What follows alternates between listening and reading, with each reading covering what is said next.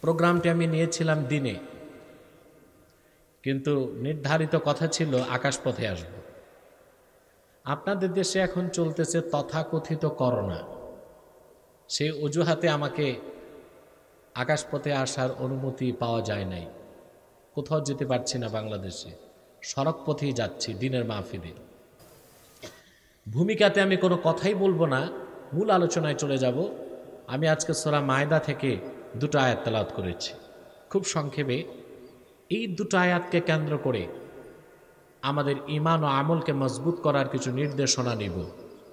পাশাপাশি জাতীয় এবং আন্তর্জাতিক যে সমস্যাগুলো মুসলিম বিশ্ব ফেস করছে, এগুলো সমাধান আমরা আল্লাহর কোরআন থেকে নেবার চেষ্টা করব ইনশাল্লাহ তার কারণ, বিশ্বময় যেখানে তাকাই, আমরা দেখেছি মুসলমানরাই রক্তাক্ত। নিপীড়িত, নির্যাতিত, লাঞ্ছিত, বঞ্চিত, মুসলিম মা বোনদের ইজ্জত সম্মান বুলন্টিত পৃথিবীর কোথাও মুসলমানকে শান্তিতে থাকতে দিতে চায় না অমুসলিম বিশ্ব। এই সমস্যা থেকে পরিত্রাণের উপায় কি? এই কথাগুলো আলোচনায় আসবে ইনশাল্লাহ ভূমিকাতে আমি একটি কথাই বলব। যারা এসেছেন এবং বসেছেন, এখানে আসার পেছনে, বসার পেছনে জাগতিক পার্থিব কোনো স্বার্থ আপনাদের নেই। ঠিক কিনা? এই যে আসলেন, বসলেন, লাভ হচ্ছে কিনা? মাহফিলে আসলে যে কি পরিমাণ লাভ, তা তো মুখে ভাষায় প্রকাশ করার কোনো শব্দ আমার কাছে নেই। আপনি চিন্তাও করতে পারবেন না। সহজে বুঝবেন এরকম একটা ফায়দার কথা বলি। প্রত্যেকটা মানুষের অন্তর দশটা রোগ হয়। কয়টা? মানুষের বডির মূল কি? কল, অন্তর, দিল, মন, হৃৎপিণ্ড, কোনটা বুঝলেন? তবে আপনারা বাঙালি এখন একটু ইংরেজি বেশি বুঝেন। ওই যে রিক্সাওয়ালাকে যদি জিজ্ঞেস করে, বিশ্ববিদ্যালয়ে যাবা, চিনি না, ইউনিভার্সিটি যাবা, চলেন। ঠিক কিনা? কথা বুঝতেছেন আমার ডবল হচ্ছে না তো আওয়াজ? স্পষ্ট? আমি এই জন্য সবগুলো নাম বললাম, কল।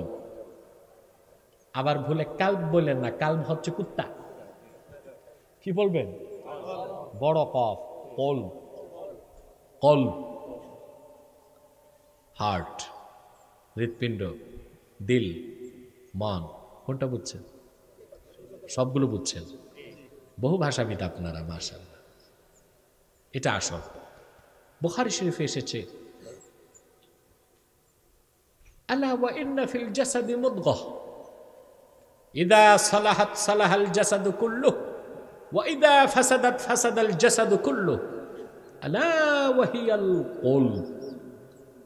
সাবধান জেনে রেখো, মানব দেহে একটি গোষ্ঠীর টুকরা আছে। এটা যখন ভালো হয়ে যায় পুরো মানুষটি ভালো হয়ে যায় আর এই গোষ্ঠের টুকরা যখন বরবাদ হয়ে যায়, পুরো মানুষটি বরবাদ হয়ে যায়। আল্লাহর হাবিব বলেছেন, সাবধান জেনে রেখো সেই গোষ্ঠের টুকরার নাম হচ্ছে কল। এটা আসল, এটা কি?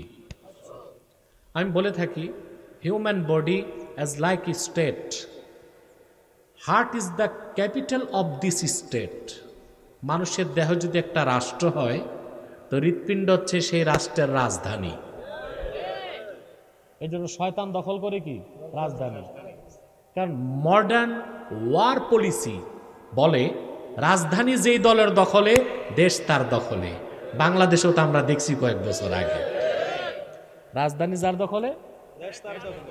দেশ তার দখলে। তো শয়তান রাজধানী চিনে ও যে রাজধানী দখল করে। ঠিক কিনা?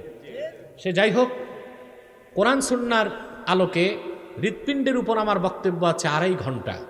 ইন্টারনেট থেকে সার্চ দিয়ে দেখে নেবেন। আজকে আমার সেটা সাবজেক্ট না। যেটা বলছিলাম, মাহফিলে কেন আসবেন? আপনার দেহের রোগ হয় হাজার হাজার, ঔষধ আছে হাজার হাজার, হাসপাতাল আছে লাখো লাখো, এক চাঁদপুরে খুঁজলেই তো কয়েকশো ক্লিনিক পাওয়া যাবে। ঠিক বলে? এই ব্যবসা এখন, বাংলাদেশে কয়েকটা ব্যবসা এখন চাঙ্গা। পিরালি ব্যবসা ট্রিটমেন্ট ব্যবসা, আদম ব্যাপারী ব্যবসা, খুব চাঙ্গা বাংলাদেশ।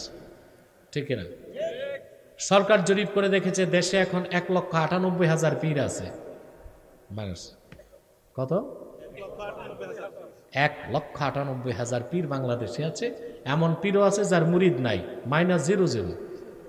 কিন্তু পীর, উনি কি? পীর। তা এখন বড় ব্যবসা হচ্ছে ক্লিনিক। এর জন্য সব জায়গায় ব্যাংকের ছাতার মতো ক্লিনিক দেখবেন।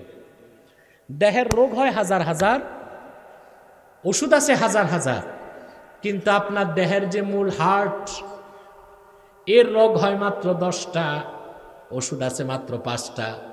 ইব্রাহিম খাওয়াজ বলেছেন, পাঁচ নাম্বার ঔষধ হচ্ছে মুজালাসাতুসলিহীন নেককার আল্লাহওয়ালাদের কাছে বসা। মানুষ যখন কোনো আলেমে তাকি নেককার আল্লাহওয়ালা আলেমের সামনে বসে অটোমেটিক তার অন্তর পবিত্র হয়ে যায়, আল্লাহ নূরে ভরে যায়। আসার লাভ আছে না নাই? মাহফিলের লাভ কোথায় পাবেন আপনি অন্য জায়গায়? এখন তো মাহফিল নিয়ে বাংলাদেশে অ্যালার্জি হচ্ছে। একদল লোক বলতেছে, এত মাহফিল কেন? কারণ মাহফিল যত হচ্ছে, আমার দেশের যুব সমাজ আল্লাহর কোরআনের ছায়াতলে আশ্রয় নিচ্ছে। এর মাধ্যমে সার্কাস বন্ধ হয়ে যাচ্ছে। আউল ফাউল, বাউলদের দিন শেষ, আল্লাহর কোরআনের বাংলাদেশ।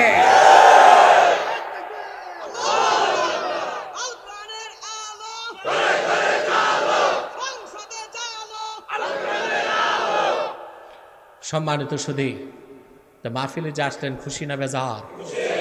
আমরা খুশি, মাবুদ খুশি, মখলুকাত খুশি ফেরিস্তারা খুশি। বেজার শুধু? শয়তানও বেজার, তার চেলা চামুন্ডারও বেজার।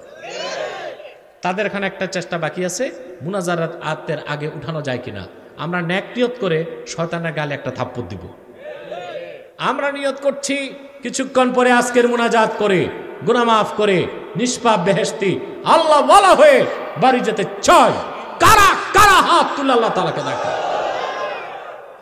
আল্লাহ কবুল করুন আল্লাহ মঞ্জুর করুন বলুন আল্লাহ আমি আজকে আপনাদের সৌভাগ্য দিনের বেলা মাহফিলটা আল্লাহ সফল করে দিয়েছেন, আল্লাহর কোরআনের বরকতে। আমার মেজো ভাই সময় পান নাই, সময় কম, তিনি তেলাওয়াত করেছেন। আপনাদের এলাকার প্রবীণ আলেম মৌলানা নেসার আহমদ সাহেব বক্তব্য রেখেছেন, আলহামদুলিল্লাহ। আজকে অনেক দামি নামি দামি মেহমানও আছে দাওয়াত ছাড়া যারা এসেছে আপনাদের ভালোবাসায়, আমাদের পাশে মতলব পিসাব বসে আছেন। আলহামদুলিল্লাহ বলুন। অনেক ওলামায়কেরাম আছেন এখানে। চলেন, মূল আলোচনায় প্রবেশ করি। আমার সঙ্গে আপনারাও পড়ুন, যেন প্রতিটি অক্ষরে নূর আল্লাহ তালা আমাদের সিনায় মানকুশ করে দেন বলেন আল্লাহ আমিন। পড়ুন, আউযু বিল্লাহি মিনাশ শাইতানির রাজিম। بسم الله الرحمن الرحيم. إنما وليكم الله ورسوله والذين آمنوا الذين يقيمون الصلاة ويؤمنون ويؤتون الزكاة وهم راكعون.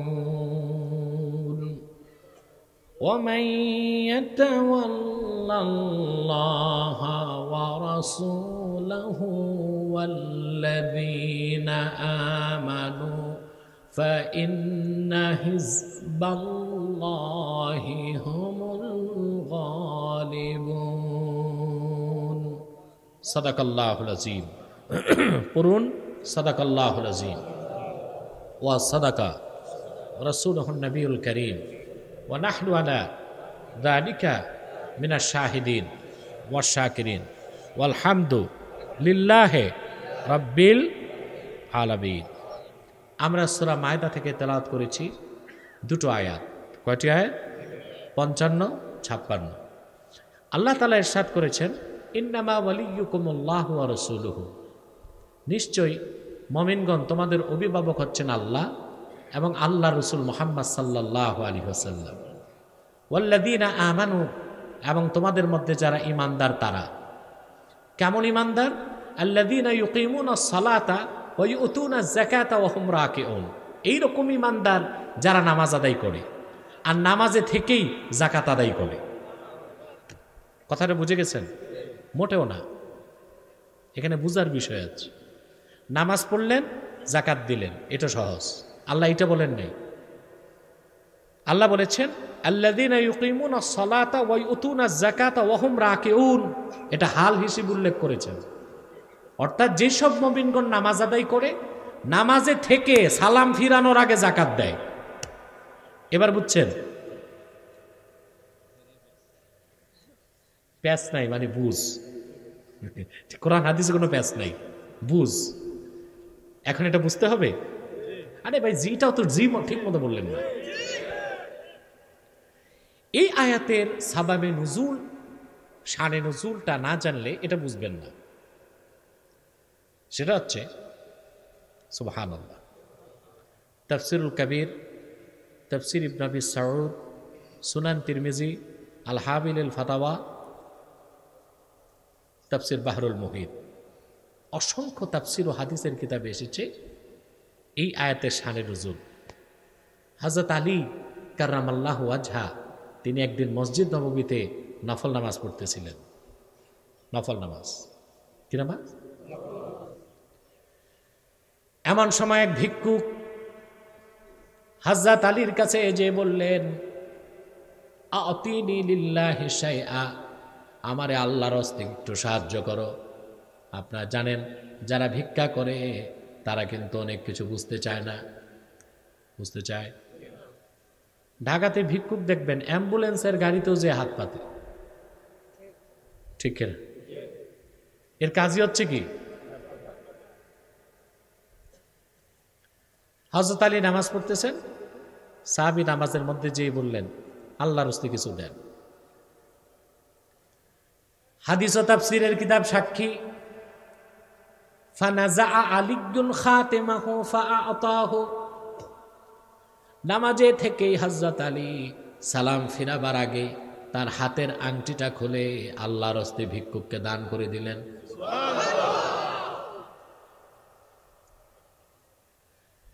আলীর নামাজ তখনও শেষ হয় নাই। ভিক্ষুক মসজিদ নববী আলাইহি সাল্লামের বাইরেও যায় নাই। আল্লাহ ওহি নাজিল করে দিলেন ইন্নামা ওয়ালিয়ুকুমুল্লাহু ওয়া রাসূলুহু والذين آمنوا الذين يقيمون الصلاة ويؤتون الزكاة وهم راكعون নিশ্চয় তোমাদের অভিভাবক আল্লাহ তোমাদের অভিভাবক মোহাম্মদ সাল্লাল্লাহু আলাইহি ওয়াসাল্লাম এবং তোমাদের নেতা ওই সব মমিনগণ যারা নামাজ আদায় করে আর আলীর মতো নামাজে থেকে আল্লাহর হস্তে দান করে দিতে পারে।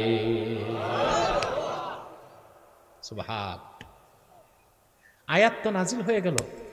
আল্লাহর হাবিব সাল্লাহ সাল্লাম মসজিদ নববীতে খুঁজতেছেন যে আয়াত প্রমাণ দিচ্ছে আমার এক সাহাবি দান করেছে, আরেক সাহাবি গ্রহণ করেছে। আর যেই সাহাবি দান করেছে সে নামাজে ছিল। আল্লাহ আকবর। আল্লাহর হাবিব সাল্লাম দেখলেন, মসজিদ নববীর দরজা দিয়ে এক ভিক্ষুক বের হচ্ছে। আল্লাহর হাবিব তাকে প্রশ্ন করলেন, হাল আহাদুম শাইআ? আমার সাহাবিগণের মধ্যে কেউ তোমাকে আল্লাহর হস্তে দান করেছে নাকি? ভিক্ষুক তখন আঙ্গুল দিয়ে হজরত আলীকে দেখায় দিলেন, ফা আশারা ইলা আলিয়িন ফাকালা যাকার রাজুল, ইয়া রাসূলুল্লাহ। হুজুর, অন্য কেউ দেয় নাই। আপনার কলিজার টুকরা ফাতেমার স্বামী। হজরতে আলী নামাজ পড়তেছে। আমি তার কাছে কিছু চাওয়া মাত্র, তিনি আংটি খুলে নামাজের মধ্যে আমারে দান করে দিয়েছে।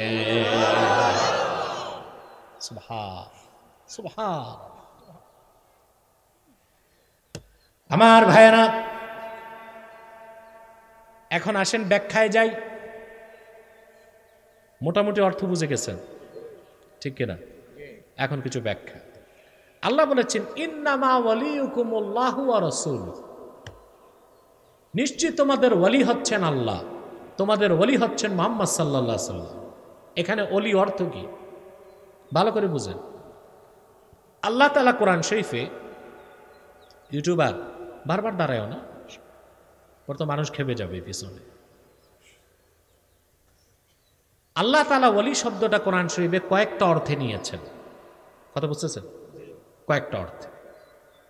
কোরআন শরীফে একই শব্দের আল্লাহ ভিন্ন ভিন্ন অর্থ নিয়েছেন। সেটা নির্ধারণ করতে হয় সহি হাদিস দিয়ে। সেজন্য শুধু লোগাত বা ডিকশনারি বা আরবি ভাষা জানলে আল্লাহর কোরআনের তাফসির করার অথরিটি মানুষ পাবে না। কেন বললাম? আমার দেশে এখন হাইব্রিড লাউ পাওয়া যায়, হাইব্রিড কুমড়া পাওয়া যায়, হাইব্রিড শশা পাওয়া যায়, হাইব্রিড স্কলারও পাওয়া যায়। পড়া নাই, লেখা নাই দুই বছরে ওনারা স্কলার হয়ে যাচ্ছে।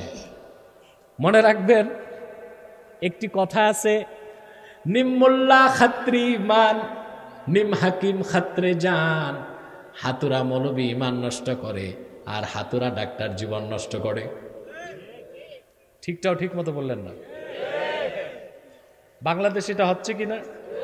হচ্ছে না? না। শুধু আরবি ভাষা জানলে আপনি কোরআন, হাদিসের ব্যাখ্যা করার কোনো ক্ষমতা আপনার নাই। কারণ একই শব্দের আল্লাহ অনেক অর্থ নিচ্ছেন কোন জায়গায় কোন অর্থ আপনি বুঝবেন কেমনে? যদি হাদিস আপনার কাছে না থাকে, তখন আপনি কোরআন করিমের অপব্যাখ্যা করবেন এবং আপনি কাফের হয়ে যাবেন। যেমন আমি একটা উদাহরণ দিচ্ছি। আপনারা স্যার সৈয়দ আহমদ খানের নাম শুনছেন? আলিগড়ের প্রতিষ্ঠাতা? হন মিয়া সাহেব বইপত্রে পড়ছেন না ক্লাস সিক্সে, সেভেনে? স্যার সৈয়দ আহমদ খান, আলিগড় বিশ্ববিদ্যালয়ের প্রতিষ্ঠাতা। এই লোক ছিল ওরিয়েন্টালিস্ট। পশ্চিমা। নামে মুসলিম, আদর্শে কি? পশ্চিমা। এ লোকটা হাদিসের মুনকির ছিল।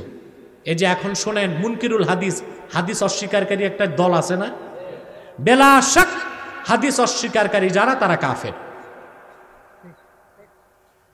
আমার একটা ডিবেট দেখবেন আপনারা, গত বছর ডক্টর তাজ হাসমির সাথে ডিবেট হয়েছিল রমজানে। দেখছেন? আলহামদুলিল্লাহ। এই তাজ হাসমি কানাডা এক বিশ্ববিদ্যালয়ে হিস্ট্রি ডিপার্টমেন্টের প্রফেসর। সে আমার কাছে শোচনীয়ভাবে পরাজিত হয়েছে। এবং আলহামদুলিল্লাহ আমি তাকে সেকেন্ড এপিসোডে চ্যালেঞ্জ করেছি। এক বছর হয়ে যাচ্ছে সে চ্যালেঞ্জ নিচ্ছে না। এ হচ্ছে মুনকিরুল হাদিস। মুনকিরুল এই, তোমরা স্টেজ উঠানামা করো কেন? কি হচ্ছে? বাইরে দরকার নাই, ভিতরে আওয়াজ দাও। বাইরে আওয়াজ নাই কেন? হ্যাঁ? আচ্ছা আচ্ছা আচ্ছা মাইকটা ঠিক করে দাও। সম্মানিত শুধু কথা শুনতেছেন? এই স্যার সৈয়দ আহমদ খান হাদিস অস্বীকার করত।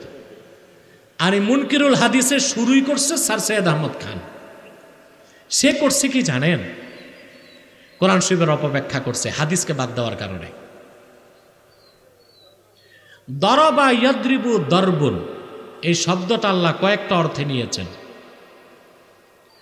দরবুনের অর্থ আল্লাহ এক জায়গায় নিয়েছেন হাঁটা চলা ফেরা وآخرون يضربون في الأرض يبتغون من فضل الله আল্লাহ বলেছেন আমার হাবিবের সাহাবিগণের মধ্যে একদল আছেন যারা জমিনে চলাফেরা করে আল্লাহ প্রদত্ত রিজিক তালাশ করার জন্যে এখানে দরাবায়াদ্রিব অর্থ কি হাঁটা চলাফেরা করা। বুঝতেছেন আরেক জায়গায় আল্লাহ বলেছেন দরাবায়াদ্রিবু থেকে وتلك الأمثال نضربها للناس এসব হচ্ছে এক্সাম্পল আমি তা মানুষের জন্য দিয়ে থাকি। এখানে দর্বন অর্থ উদাহরণ দেওয়া।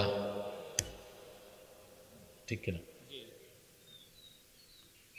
দরাবাইয়াদ্রিবু দর্বন থেকে আরেক জায়গায় আল্লাহ বলেছেন, আল্লাহ মুসাকে বললেন, ফদরিব বি আসাকাল হাজার।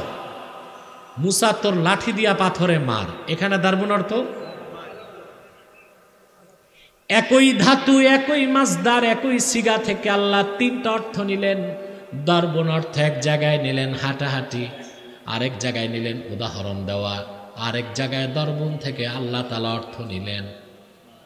মারা তুমি অর্থ কোনটা কোথায় নিবা সেটা নির্ধারণ করবে নূর নবীর হাদি মাকে সাউন্ডটা কমে গেছে একটু বাড়াও ভিতরে। তাহলে আপনি ভালো করে বুঝতেছেন? আপনি দুই বছর আরবি ভাষা শিখে কোরআন শরীফের তর্জমা করবেন, তা তো চলবে না।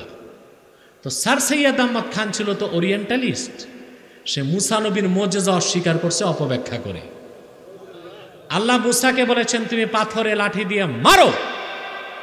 তিনি মারলেন, পাথরে বারোটা ঝর্ণা তৈরি হয়েছে।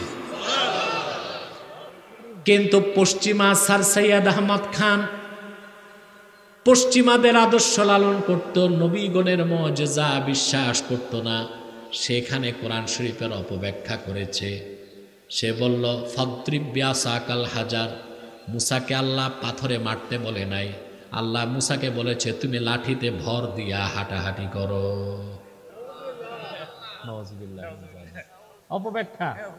তাউইলে ফাসেদ। তাউইলে আর আল্লাহর কোরআনের অপব্যাখ্যা করা কুফুরি। ঠিক বুঝে কইছো নি ঠিক? তাহলে এখানে আল্লাহ বলেছেন, ইন্নামা ওয়ালিয়ুকুমুল্লাহ নিশ্চয় তোমাদের ওলি আল্লাহ, তোমাদের অলি রসুল্লাহ এখানে অলি অর্থ কি? তা বুঝতে হবে। আমরা অলি অর্থ বুঝি না। আমরা অলি বুঝি শুধু পিসাব। আমরা কি বুঝি? শুধু পিসাব। ঠিক কিনা? আর কিছু অলি অর্থ বুঝি না। আর পীর সাহেবের খলিফা যারা, স্টেজে আসে, এরাও দালালি করতে করতে পীর সাহেবকে তাল গাছে উঠায়। দেখেন না আপনারা? যত সত্য মিথ্যা কারামত বাড়ায়া টারায়া পীর তাল গাছে উঠায় এটি তো বাংলাদেশ শেষ। দাওয়াতের কাজ আমানতের সাথে হচ্ছে না, খেয়ানতের সাথে হচ্ছে। ঠিক কিনা? আল্লাহ রাব্বুল আলামিন অলি শব্দের একটা অর্থ হচ্ছে নাসের সাহায্যকারী। কি অর্থ? যেমন বলা হয়েছে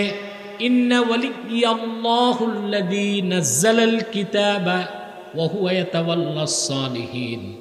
নিশ্চয় আমার ওয়ালি মানে আমার সাহায্যকারী আল্লাহ, যিনি কোরআন নাজিল করেছেন, ন্যাক্কারদের পৃষ্ঠপোষকতা দেন। এখানে ওয়ালি অর্থ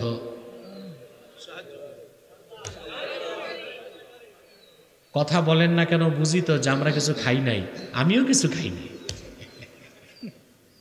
আমি যদি খেতে যেতাম, আধা ঘণ্টা ঠকতেন। কি বলে?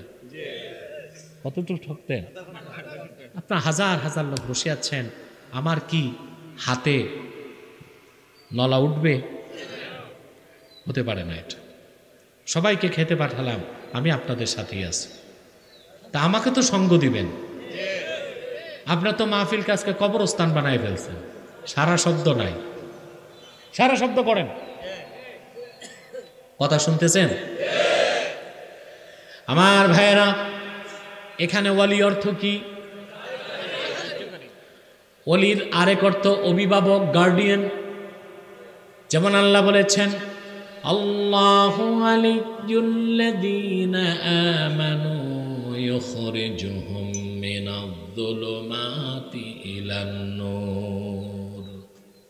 যারা ইমানদার তাদের অভিভাবক হচ্ছেন আল্লাহ রব্বুল আলমিন। আল্লাহ তাদেরকে অন্ধকার থেকে বের করে আলোর পথে নিয়ে আসে। এখানে ওয়ালি অর্থ কি? সুবহান আল্লাহ তাইলে আপনার বিরক্ত হচ্ছেন নাকি? না বুঝতেছেন? কেউ অজুর জন্য উঠবেন না আমি সময় দিব। চুপচাপ বসে থাকেন একেবারে চুপচাপ। মাথাটাও নাড়বেন না শুধু মুখটা নড়বে। তখন প্রশ্ন করব যখন। ঠিক? আমার দুর্বলতা যে আমি সব জায়গায় এখন রাতে যেতে পারছি না। আপনাদের বাকরনগর আসতাম প্রতি বছর একবার। বাকরনগরের লোকগুলো রাগ করছে আমার সাথে। আমি কেন রাতে প্রোগ্রাম নিলাম না? বাখরনগর না? বাকর পাড়া ঠিক আছে। হ্যাঁ হ্যাঁ। বাজনা খালো তো দিনেই দিয়েছি আরিফ তোমাকে? আগামী ডিসেম্বর দিনে। যেভাবেই আসি, হেলিকপ্টারে আসি, আর নৌকায় আসি, আর ট্রাক্টরে আসি, আসব ইনশাল কথা বুঝতেছেন? নইলে পায়ে হেঁটে আসব। আল্লাহ তৌফিক দিলে ইনশাআল্লাহ। এটা বাকরপাড়া। বাকরপাড়ার মানুষগুলো শক্ত। এত বুঝাইলাম দিনে করো মানে না। ওনারা ঠেট ধরেছে রাতেই করবে। আমি তো রাতে পারি না। সম্মানিত সুদী তাহলে, অলির একটি অর্থ পেলাম নাসের। অলির আরেকটি অর্থ? অলির আরেক অর্থ মুহিব, বন্ধু। আল্লাহ পাক বলেছেন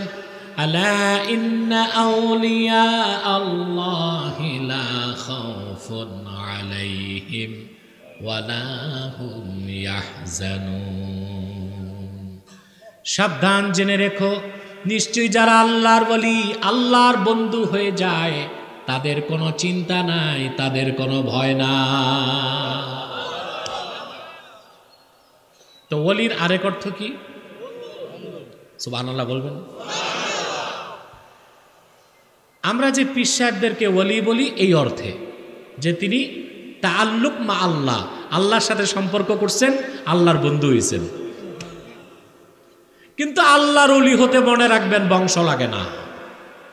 আগে কোরআশ বংশের হইতে হবে? কথা বলেন।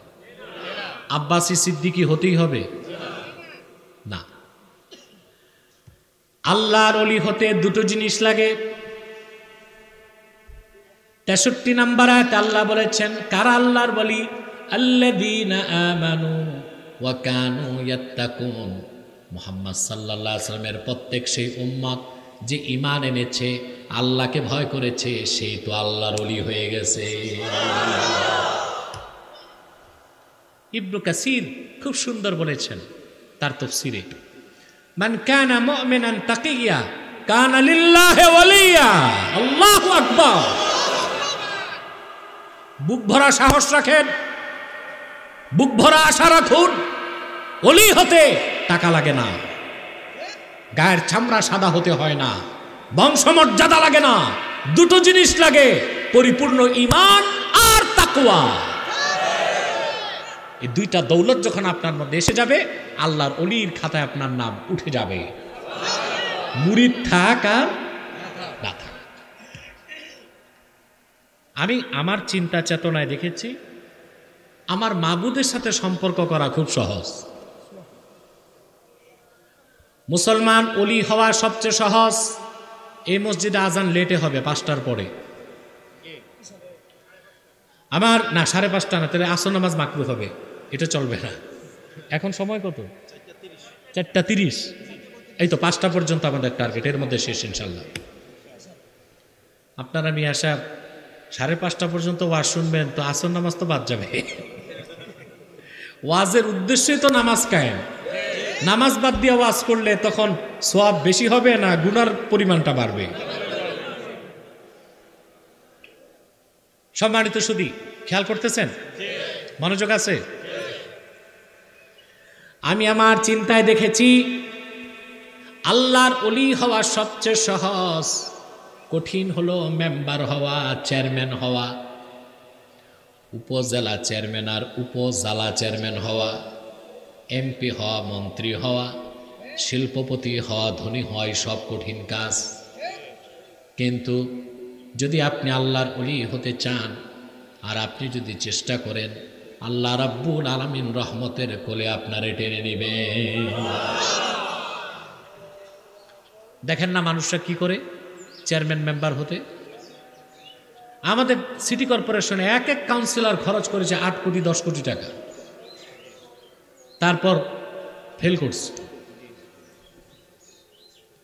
তা আপনি আট কোটি টাকা খরচ করে কাউন্সিলর হওয়ার দরকার কি? আট কোটি খরচ করলেই তো জনগণ লাভবান হয়ে যায়। কথা বলেন না? যারাই রাজনীতি করে, তারা ঘোষণা দেয়, আমরা জনগণের কল্যাণে কাজ করি। আপনারা কল্যাণ চান না, জনগণের কল্যাণ নেওয়ার কাজ করেন। ঠিক কিনা? আর আপনারা বাংলাদেশের মুসলমান, এত কম দামে পৃথিবীর কোনো দেশের মানুষ বিক্রি হয় না। আপনারা যত কম দামে নির্বাচনের রাতে বিক্রি হন। আমি দেখেছি, কোরবানির সময় একটি ভেড়া বকরির দাম হয় দশ হাজার, বারো হাজার টাকা। নির্বাচনের রাতে তোমাদের দাম হয় এক হাজার টাকা, বারোশো টাকা। ভেড়া বকরির চেয়েও দামটা কমে যায়। সত্য কি না? আমি আপনাদের এলাকারটা জানি না, আপনারা সব আউলিয়া কেরাম না, আছেই সমস্যা। দুশো টাকা। তাতে এটা দেশি মুরগির দামও হয় না। আপনারা পোলট্রির দামে বিক্রি হন। প্রিয় ভাই, বন্ধুগণ, কথা খেয়াল করতেছেন? তাহলে আমরা অলির কয়টা অর্থ পেলাম? সাহায্যকারী, অভিভাবক, বন্ধু। আল্লাহ রাব্বুল আলামিন বললেন, ইন্নামা ওয়ালিয়ুকুমুল্লাহু ওয়া রাসূলুহু। এখানে অর্থ হচ্ছে নিশ্চয়ই মুসলমান মুমিনগণ তোমাদের অভিভাবক আল্লাহ মালিক হিসেবে আর তোমাদের অভিভাবক মুহাম্মদ সাল্লাল্লাহু আলাইহি সাল্লাম রাসূল হিসেবে সুবহানাল্লাহ বলবেন না আর তোমাদের মধ্যে যারা সুবহানাল্লাহ والذين آمنوا الذين يقيمون الصلاة ويؤتون الزكاة وهم راكعون আর মোহাম্মদ আলাইহি সাল্লামের সাহাবীগণের মধ্যে যারা ইমান এনেছে, নামাজ পড়ে, নামাজের মধ্যে জাকাত দেয়, হযরত আলীর মতো যারা, তারাও তোমাদের নেতা। সুবহানাল্লাহ বলবেন না। তার মানে এই পৃথিবীতে নেতৃত্বের ক্ষেত্রে, কর্তৃত্বের ক্ষেত্রে, রাজনীতির ক্ষেত্রে, ব্যক্তি জীবন, সমাজ জীবন, রাষ্ট্র জীবন সব জায়গায় আল্লাহর হুকুম মানতে হবে, তার হাবিব মোহাম্মদ সাল্লাহ হুকুমকে মানতে হবে। আর আপনারা মেয়ারে হক, সত্যের মানদণ্ড হিসেবে সাহাবায় কারামের আদর্শকে অনুসরণ করতে হবে। কথা বুঝতেছেন? আমাদের আকিদা আর সাহাবাতু কুল্লুহুম আল্লাহর হাবিবের প্রত্যেক সাহাবি ছিলেন ন্যায়পরায়ণ। এবং তারা, মিকিয়াসুল হাক্কেবাল আদালা সত্য ন্যায়পরায়ণতার মানদণ্ড রসুল করিম সাল্লাহ আসলামের সাহাবিগণ। যেমন একজন সাহাবি আহলে বাইতের সন্তান হজরত আলীর কথা আল্লাহ উদাহরণ হিসেবে তুলে ধরেছেন বলেন এখন আসেন, ভালো করে বুঝেন। হজরত আলী যে নামাজের মধ্যে জাকাত দিচ্ছেন, আমলে কাসিরে নামাজ চলে যায় নাই? প্রশ্ন আছে কিনা? এটা দুটা জবাব সকল ফকি একমত, সালাতের মধ্যে যদি আমলে কাসির হয়, নামাজ যা চলে যাবে, আমলে কালিল যদি হয়, নামাজ কিছু হবে না। হজরত আলী আংটি হাত বাড়ায় দিয়েছেন, ভিক্ষুক আংটি নিয়ে নিয়েছে। এর দ্বারা আমলে কালিল হয়েছে, নামাজ নষ্টের কোনো সম্ভাবনা ছিল না। দ্বিতীয় কারণ, ইসলামের শুরু জামানায় আল্লাহর পক্ষ থেকে কিছু সময়ের জন্য সুযোগ দেওয়া হয়েছিল। নামাজের মধ্যে একজন সাহাবি আরেকজনের সাথে কথা বলতো, সামান্য কিছু কাজ করার অনুমতি পেত। পরবর্তীতে আল্লাহ যখন হুকুম করলেন ওকুমুলিল্লাহি কানিতিন তখন নামাজে ছোটোখাটো কাজ, কথা বলাকেও আল্লাহ হারাম করে দিয়েছেন। হজরত আলীর ঘটনাটা এই হুকুমের আগের ঘটনা। এবার আসেন, তৃতীয় যে বিষয়টা বলব, তারপর আমি দ্বিতীয় আয়াতে চলে যাব, তারপর মুনাজাত ইনশাল্লাহ আল্লাহ তালা হজরত আলীর এতটুকু আমল নামাজের মধ্যে তিনি দান করছেন। এতে এত খুশি হলেন কেন? যে আলীর ফজিলতে আয়াত নাজিল হয়ে গেছে? প্রশ্ন আসে না? আমার ভাইয়েরা মনে রাখবেন